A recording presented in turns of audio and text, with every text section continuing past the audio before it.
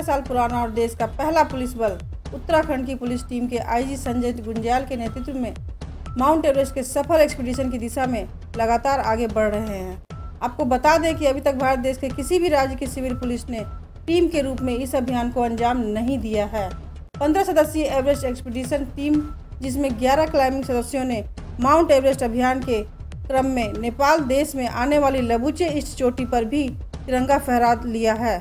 6,119 metre और करीब 20,000 feet से अधिक ऊंचाई वाली चोटी पर मौसम बुरी तरह बिगड़ रहा था। भारी बर्फबारी के कारण दो अलग अलग ग्रुप बनाकर अभियान को पूरा किया गया। अट्ठाईस उनतीस अप्रैल में दोनों ग्रुप के समस्त पंद्रह सदस्यों ने आरोहण के काम को पूरा किया है।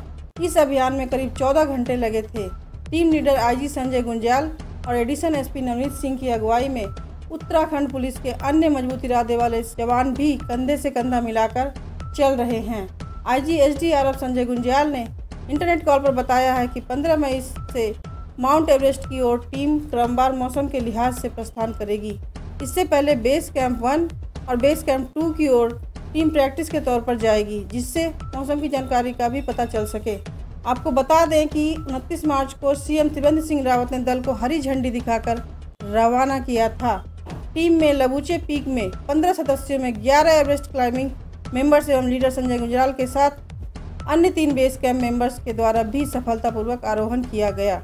आपको बताते चले कि वर्ष 2013 में आई आपदा के बाद आईजी संजय गुंजाल के कंधे पर ही राज्य की अपनी आपदा प्रबंधन फोर्स यानी एसडीआरएफ को बनाने का जिम्मा था, जो आज राज्य में हर चुनौती से बेहतरीन तरीके से निपट रही है।